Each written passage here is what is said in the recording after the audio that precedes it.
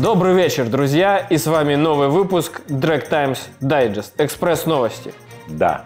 С вами Эспрессо Сергей и Латте Артемий. латте, да, капучино. Нежный, тающий на губах Артемий. Американо. Нет, я с Дагестана. Всем привет! Как обычно, мы пришли к вам с миллионом новостей. Только если в прошлый раз мы были довольны, потому что август подарил нам много прекрасных новостей, то сентябрь и первая неделя октября оказались очень даже такими... Подарили нам, во-первых, депрессию, во-вторых, мало хороших новостей. Но мы что-нибудь придумаем. Будем сейчас из пальца высасывать. Из поршня. А Вот здесь написано, в идеале рассказать про шоу Drag Times Garage. Давай расскажем про него. Короче, мы везде, где могли, рассказывали про это шоу. В Телеграм-канале, на всех платформах, сторис в сообществе. А вы спросите, а что за шоу? Шоу называется Drag Times Garage. В чем его суть, спросите вы? Мы с Серегой нашли донора и, собственно, зарубились. Успею ли я из этого донора сделать некий тюнинг-проект, который в дальнейшем мы разыграли. И, собственно, наверняка, если вы смотрите этот выпуск, уже и вручили победителю. Наверняка, если вы смотрели «Тачку на прокачку», то эта передача покажется вам знакомой. Знаете, нет ничего лучше, чем прокатиться в крутой прокачанной тачке. Да, но только если в тачке на прокачку машину уродовали и вешали телевизор в бампера, мы сделали качественный, хороший тюнинг. Это не просто тюнинг-проект, это не я в гараже уродовал Шкоду, это мы привлекли лучших специалистов на нашем рынке. Там был и Гоша Турботек, всеми любимый. Мы поставим V10 Lamborghini Huracan. Ой, а серьезно?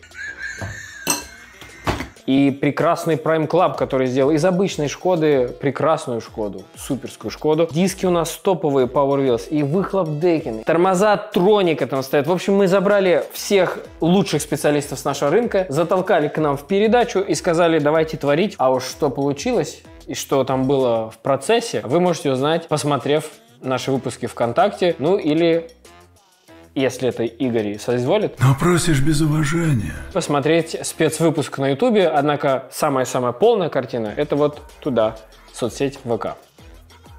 Перейдем к новостям.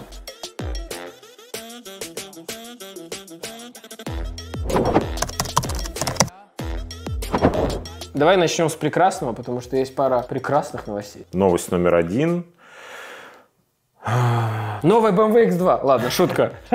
Да, это не самое прекрасное. Прекрасное это Альфа Ромео 33 страдали. Был такой когда-то в свое время автомобиль Альфа Ромео 33 страдали. Их сделали всего 18 штук. Сейчас Альфа Ромео сделала автомобиль 33 страдали, но сделала их 33 штуки, потому что жадность, видимо, не позволила повторить тираж 18 машин. Чем он примечателен? Ну, во-первых, э, я считаю, что это тема у Ferrari, которая сделала подразделение Икона, которое будет делать ремейки машин своих э, популярных, новые для самых обеспеченных клиентов. И я считаю, что у Альфа Ромео, их нового подразделения, которое назвали Bottega, получилось лучше, чем у Ferrari, которые сделали Daytona SP3, и она была отчасти вдохновлена знаменитой Ferrari 330 P3-4, который вы могли видеть в фильме, например, «Форд против Феррари». Красивейшие, округлые такие, женственные, можно сказать, очень чувственные формы, очень красивая машина. А вот Дайтона получилась такая угловатая, немножко несуразная. То в этом случае Альфа-Ромео сделала гораздо лучше. Они не стали слишком сильно переосмысливать, а просто сделали тот же самый силуэт, ту же самую фактически машину, просто на новом технологическом уровне, с новой светотехникой, какими-то новыми там материалами. Получилась просто бомба. При том, что вот эта сама базовая 33 страдали очень похожа на ту Ferrari P330.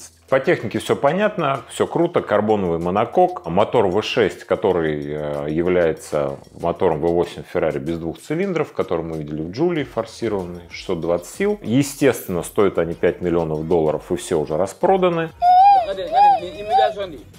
Есть электрическая версия, которая никому, я думаю, не нужна. Может клиент выбрать или электрическую, или бензиновую машину. А я тебе могу дополнить. В реальности, да, то есть был выбор, и самое смешное, что они все распроданы, и пока ни одного заказа именно электричества. То есть не то, что, а реально никто не выбрал электричку. Ха-ха.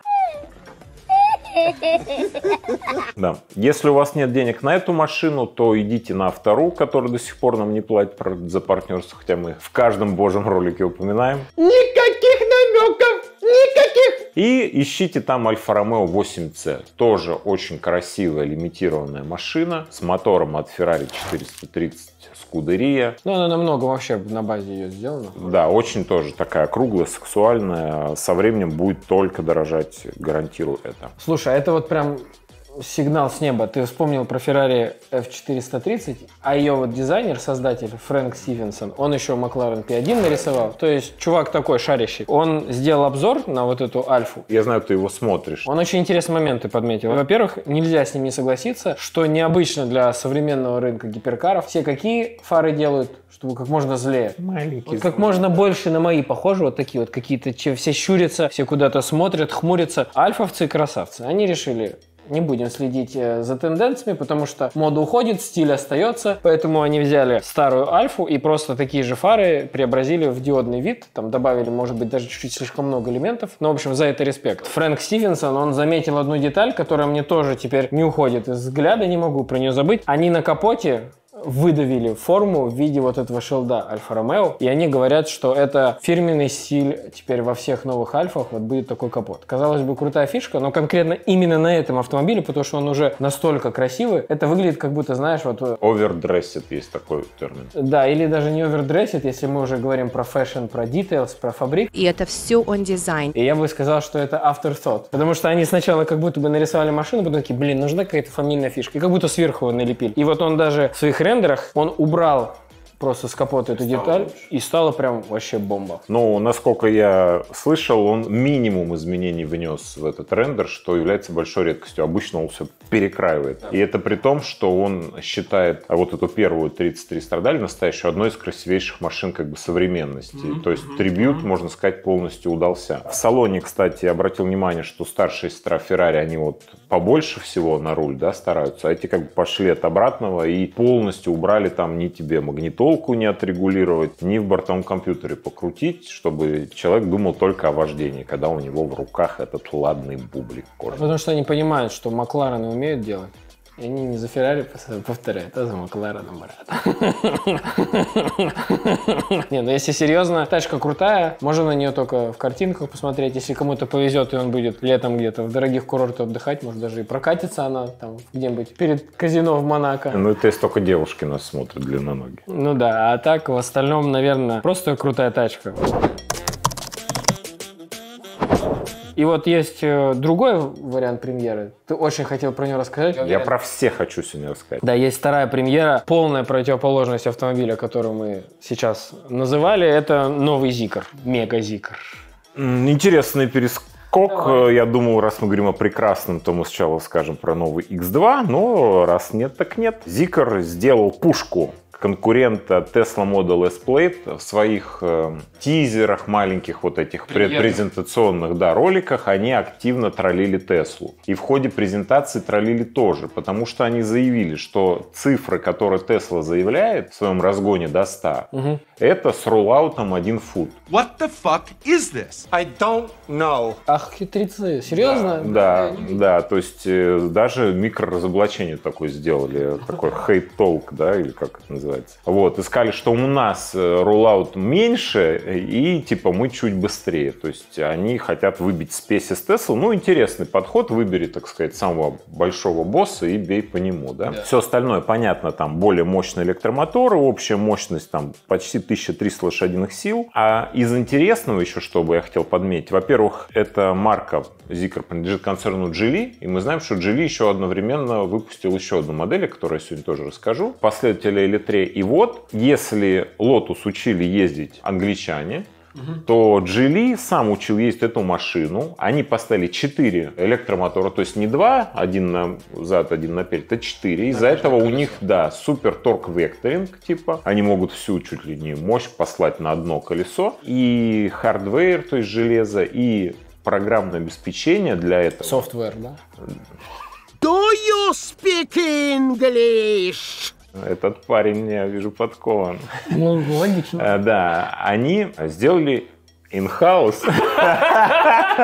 Они сделали сами. Короче, китайцы сами делают быструю электромашину. Все, никого, ни у кого не учатся. Поэтому интересно, как она будет валить на треке в том числе. Понятно, там прибавилась уродливая абсолютно аэродинамика, потому что, видимо, дизайн они тоже делали сами. И режим краба, естественно, куда без него, когда машина крутится на месте, как танк. Теперь все, Хаммер задал новые стандарты для дебилов. Ну ты же лицемеришь, это все равно будет быстрая, быть может, по прямой, но жирная корова электрическая. Чего радоваться? Не, а что, я же ничего не говорю, что она суперская. Просто вот у нас на глазах возникла какая-то новый артефакт, новая автомобильная как бы цивилизация. Да, наши, там, не знаю, те, кто живет в больших городах, особенно московские жители, уже, наверное, не раз видели Зикр, он, по правде, не такой уж и маленький. Он такой прям плотный, сбитый, и если он еще и тяжелый будет такой же, прям это больше какой-то панамере отсылает, мне кажется, чем какой-то Тесли. Не спорю, может быть. Посмотрим. Есть же еще Люсид, Сапфир тоже. Не, ну вот Люсид мне как раз да. нравится. Люсид тема. Мы, кстати, ни разу не обсуждали его. Люсид это, как они сами себя позиционируют, Тесла 2.0. Да, это, во-первых, американский производитель, во-вторых, э, они, в отличие от Tesla, не делают внутри все из мыльниц, как бы, а сделали роскошный салон крутой, все опции правильные и так далее. То есть это машина, в которую не западло сесть и с открытыми глазами. Тебе не актуально. Ну нет, конечно, я не расист. Почему это Tesla 2.0? Дело в том, что компанию Lucid вообще делали ребята, которые ушли с Теслы, потому что они с Илоном Маском поругались, потому что тот хотел делать айфоны в, мини- в мире машин, а они хотели делать машины в мире машин только электрические. В мире айфонов. Ну, кстати, да. Но для понимания, чтобы долго не рассказывать, у них эталоном автомобиля когда они делали новую Lucid, всегда был BMW M5 E39. На этом можно все диалоги закончить. И действительно крутая тачка. Я даже прям смотрел ее не в смысле какой-то праздный интерес. Очень интересовал меня этот автомобиль. Она здоровая и вообще как конкурент с классу, образно говоря, только электрический. И они изначально обещали даже там сзади кресла, которые раскладываются. Но что-то у них не пошло. Они в предзаказе даже добавляли возможность, потом почему-то съехали. Вот ждем, когда будет Сапфир, который быстрее и Тесла, и Зикра, но при этом сзади можно лежа ехать. Ну и она, кстати, очень красивая, в отличие от того же Зикра или Тесла. Ну да, она такая самобытный, неплохой дизайн. Мне очень нравится этот автомобиль. Я ни разу не ездил, но среди электричек, наверное, мне кажется, самая красивая электричка. Да мы начнем ездить. Все подписчики знают. Подожди, э, троллейбус электрический? Электрический. Раз мы настроились на электрическую волну, расскажу про новый Lotus. Давай. Во-первых, почему лотусы так распространились, да? Мы думали, что причины какие-то такие обычные, а они метафизические, потому что Lotus Eletre делают в Ухане. А все, что делают в Ухане, потом расползается на весь мир. Очень быстро распространяется, все понятно. Во-первых. Во-вторых, э, на базе Eletre, ну, на той же самой технологической платформе был сделан седан, который назвали Emeya. То есть самое хорошее, если вы купите две машины, э, Эльвиру и Имею, то вы скажете, купил Имею, Эльвиру. Короче, будьте осторожны, фанаты Лотуса. В формулировках, да. Осторожнее, чем я. Давай, давай можем сказать Емеля. Lotus Емеля. Тоже неплохо. Или можем сказать Lotus Ем Я. О, получается для меня машина. Вот и все, вот и весь ответ. Скромность, поменьше ее. Она мешает в жизни. Тот же концерн, что и Не, ну ты бессмертный, конечно. что и, Джи- что и Джили, тоже под 1000 лошадиных сил, но уже в призме Лотуса, да, Lotus учил ездить, там э, регулируемые эти электрические стабилизаторы поперечной устойчивости, которые закручивают, чтобы не было кренов. Интересно, что будет. Э, Дизайн очень похож, Chiron -образный зад, как бы много прорезей впереди, особое внимание на аэродинамику. Из интересного это Не придумал система подавления нет шумов, которая мы на некоторых машинах уже видели, по-моему, на Lexus На Lexus 600, да, но они замеряют шум внутри, а эта машина замеряет э, движение колес и подвески снаружи, из-за этого Ты саму систему объясни. В общем, в машине колонки издает звук, чтобы в затушить. противофазе, да, от чтобы шумов, но звук. шумы она берет снаружи, как бы из движения колес понимает, какой шум будет внутри. Хотя до этого машины как бы внутри салона пытались противоваз звук отправить. Быстрее это будет работать. Ну и что еще интересно, до этого только европейцы этим баловались, а сейчас и Lotus заявляет, что они сделали какой-то новый суперматериал из отходов производства одежды, хлопка, и из него там обшивают внутри все, и это не только экологично, но и легче, чем кожа. За счет этого они выиграли в весе. То есть очень легко научиться в эти маркетинговые тупые завлекалочки, когда прессованную херню продают дороже, чем натуральную шкуру бизона. У меня два комментария, где мне, я не то, что прям перепрыгиваю, переобуваюсь в воздухе, но вот мнение меняется. То есть, когда Lotus, вот этот Элетри, в начале лета начал в России появляться, и мне был какой-то пиетет к нему, было интересно, я что-то вживую посмотрел, что-то прям вообще э, весь интерес упал. Ну, и, соответственно, у меня к седану уже такой скептический настрой, но посмотрим, что будет. Наоборот, я хотел сказать, что мы с тобой, как обычно, в прошлый раз э, 911-ю СТ раскатали. Э, Уже прошли тест-драйвы, дали покататься, и все абсолютно обзорщики, ну, которые прям вот даже шарят, которые и фанаты Porsche, и наоборот, все, как и мы, там любят, там, знаешь, до вага докопаться, все хвалят СТ, потому что ее настроили именно по правильным канонам. То есть это чтобы тачка, на которой можно было на- наездить максимальный километраж не по треку, а просто по дорогам общего пользования. И для понимания, чтобы ты прям вот, э, может, какую-то у тебя любовь Проникся. Как ты знаешь, у Туринга, ну и вот у Carrera 911 сзади есть вот этот спойлер открывающийся. Ребята настолько замучились, они говорят, мы не хотим этот спойлер, но аэродинамика есть, на с ней надо что-то сделать. Они сзади добавили небольшой дактейл просто для того, чтобы этот ублюдский спойлер поднимался не каждый раз, когда ты до второй передачи добираешься, а выше 130 км в час. Вот я думаю, в этой маленькой детали ты можешь увидеть чуть-чуть проблески правильного подхода. Я пытаюсь до тебя пробиться, что некоторые Porsche все-таки бывают крутыми. Хорошо, кто нажимает кнопку «Открыть спойлер» на этом Porsche, вот на этих всех эсках и так далее, и думают, что это круто выглядит, это выглядит так, как будто вы забыли просто захлопнуть багажник, и у вас щель там сзади, потому что он поднимается, под ним какая-то там требуха уродливая. Это просто кошмар. У меня всегда аналогия есть в Гриффинах эпизод, где аналогия просто, где Питер Гриффин очень гордится. Я горжусь, даже больше, чем когда я был павлином. Гриффин хорошо поработал над отчетом Андерсона.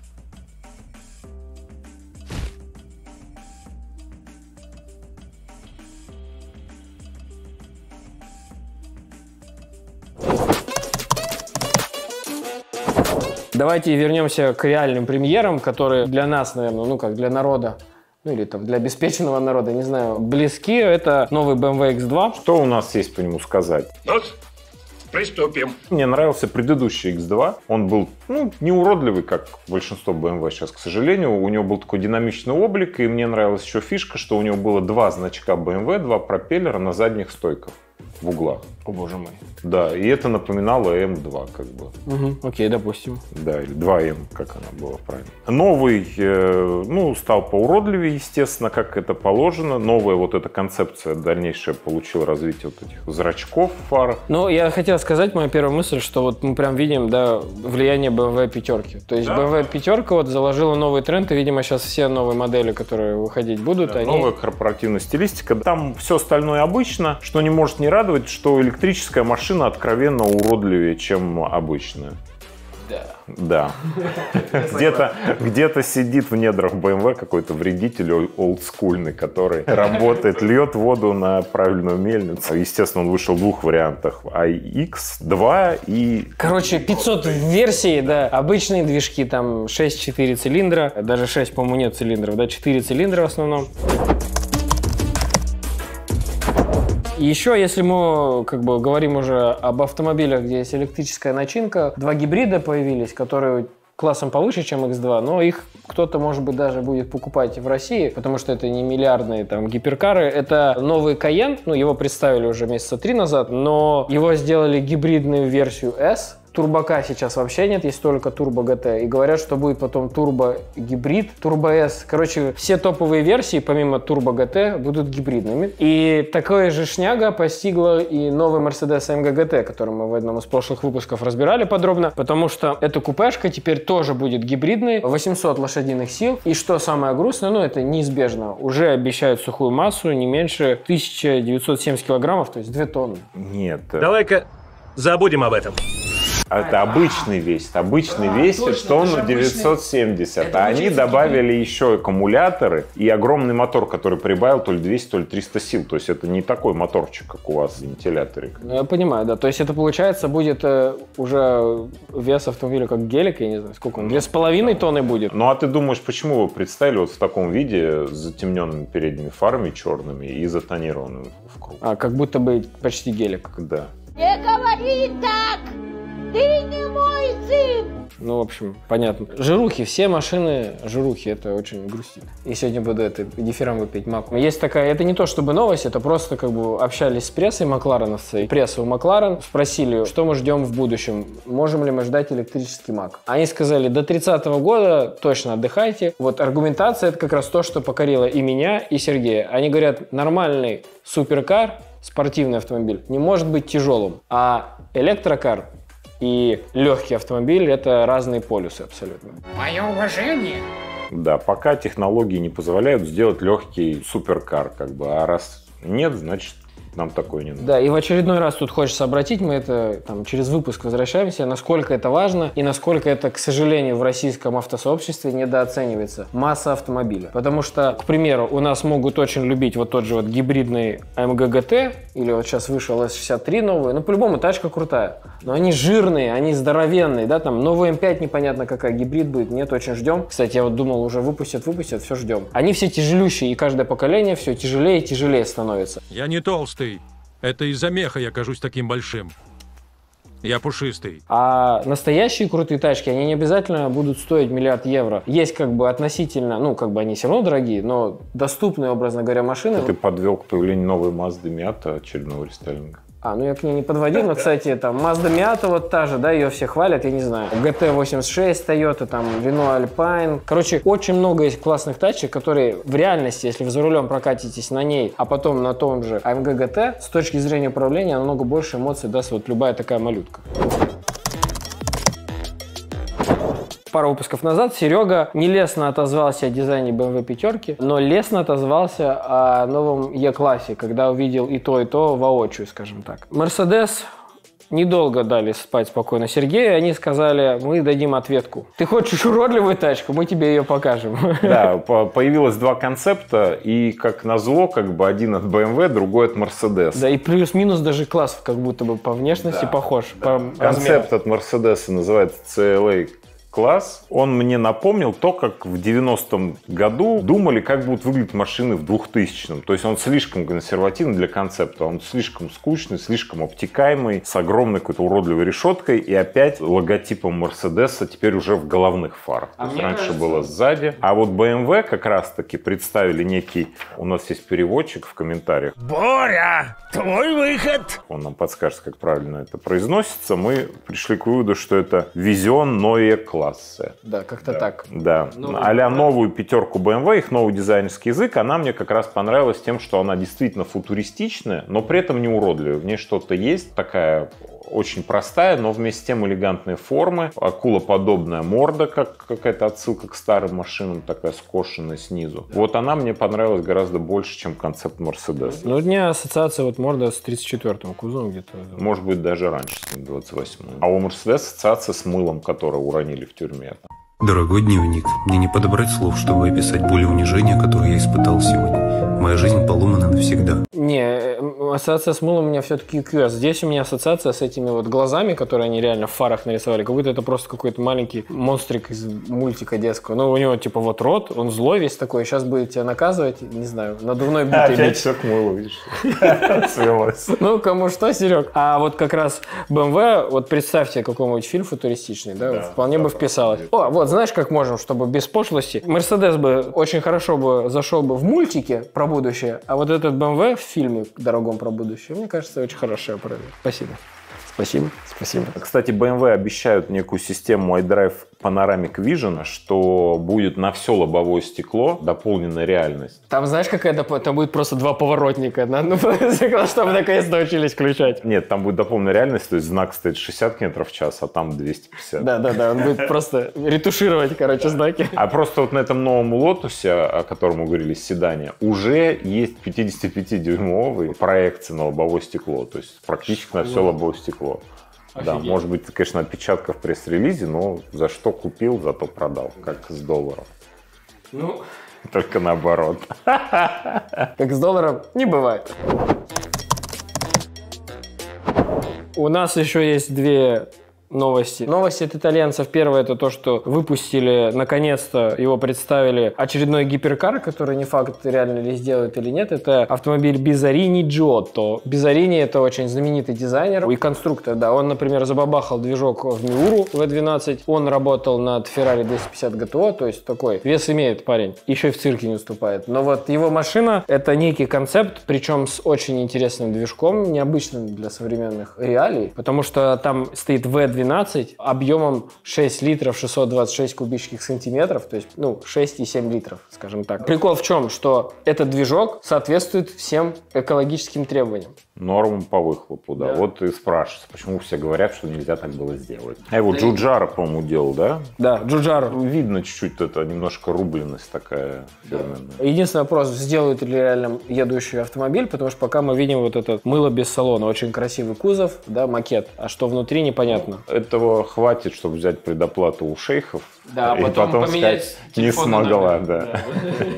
И возвращаясь как раз про выхлопы, очень прикольная новость, интересная. Все европейцы начали дудеть в дуделке, что мы делаем все тачки экологичными, поменьше выбросов, нужно стандарты повышать и нормы, естественно, уменьшать. Вот должен был стандарт Евро-7 в 2025 году вступить в силу, а сами автопроизводители взяли и переобулись, сказали, он очень плохой, мы не готовы. И интересно, как они это все аргументировали, не потому что мы слабые, а потому что если нам внедрять его в 2025 году, мы меньше времени сможем выделять электроавтомобили. Типа все свои инженерные силы мы направим на то, чтобы соответствовать новым нормам выхлопа и не сможем делать электромобили. И вот этот переход экологически отложится. Слушай, а ловко ты это придумал. И Еврокомиссия послушала. То есть, э, видите, надо исходить из ценностей своего собеседника, если вы хотите его в чем-то убедить. Не надо рассказать про свои нужды, расскажите про его. Вам нужны электромобили? Ну тогда отодвиньте нам немножко. И они отодвинули, хотя до этого производители были намного готовы, но ничего не помогало. Так что еще немножко поездим на машинах. Ну, у нас уже и мастер-классы по переговорам постепенно начались.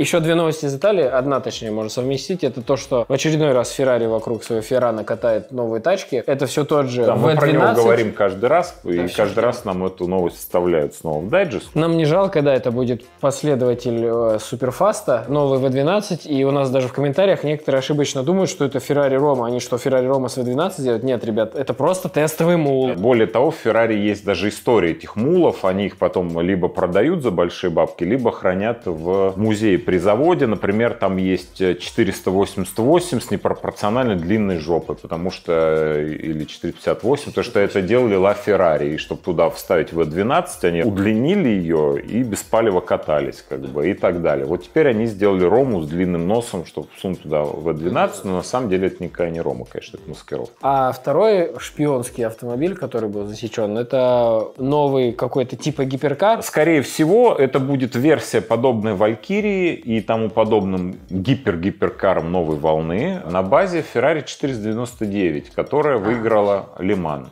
в этом году. Причем выиграла чудом, можно сказать, потому что я смотрел его, даже болел за нее, но им повезло, но везет сильно. А что там случилось? Не случилось, просто в чемпионате доминирует, я не помню, кто Toyota, по-моему, или Porsche, или Porsche и Toyota. А Они были такими андердогами, но там одним не повезло, другим не повезло, а они А потому что гонка Лиман, она гонка на выносливость. всего. Это вот самое большое испытание для автомобиля. И здесь вот обратный процесс. То есть Ferrari построила гоночную машину и выиграла на ней Лиман и сделает сейчас из нее дорожную, конечно, очень дорогую, ограниченном экземплярах и так далее, то другой автопроизводитель Это Астон Мартин, и вот как раз Астон Мартин Валькири или Валькирия, они все-таки обещают, что со следующего там года они будут выступать в гонках на выносливость вот в классе гиперкаров. Мне кажется, это очень круто, мы уже разок вспоминали. Круто, что типа дорожные бренды и типа дорожные тачки будут кататься в таких чемпионате. Потому что последние 10 лет это были чисто класс прототипов. Ничего общего внешне хотя бы даже не имеет с э, дорожными тачками. Круто?